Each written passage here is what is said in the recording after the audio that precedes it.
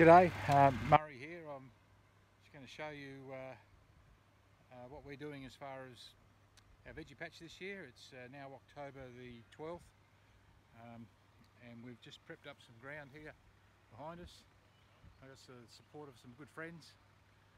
Uh, we've got the tractor, we've put the uh, plough over the about 50 metres by 20 metres, so probably 100 square metres of, of ground that we've ploughed up. And we're going to use a system you may or may not have heard of. It's called plastic mulch and it uh, involves uh, a, a, machine that lays the mulch down with a T-tape or trickle tape and it's a very efficient way of watering uh, vegetables.